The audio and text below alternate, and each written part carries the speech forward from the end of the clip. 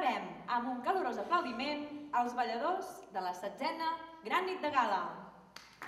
I és que aquesta escola ja ha arribat a la majoria d'edat.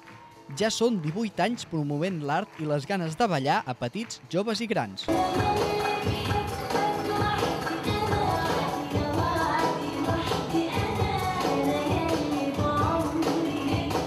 Aquesta parella porta més de 20 anys dedicant-se al món del ball. Tot aquest temps ha estat farcit d'assajos i campionats que ara han portat a que Josep i Carme es dediquessin a la difusió del ball a partir de l'escola.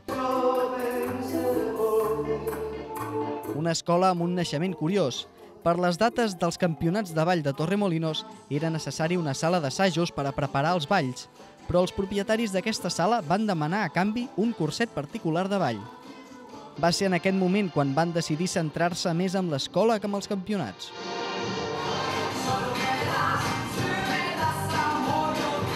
El que va començar amb un petit grup de Cardedeu ara s'ha convertit en un grup de més de 60 ballarins.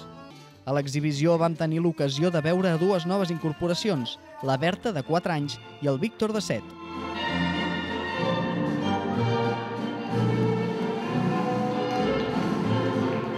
Durant la primera part de l'espectacle es va ballar sobre l'escenari la dansa del ventre, el vals, la batxata, el xa-xa-xa, el foxtrot, salses i tangos. La violetera va donar el punt i final a la primera part. Això de fer de directora comporta... Un cop sortejades les dues toies i fet un descans d'un quart d'hora, l'espectacle seguia amb la segona part. Enguany han volgut fer un viatge per Viena, Argentina, Nova York, Índia, Cuba, Santo Domingo, Mèxic, Colòmbia i França.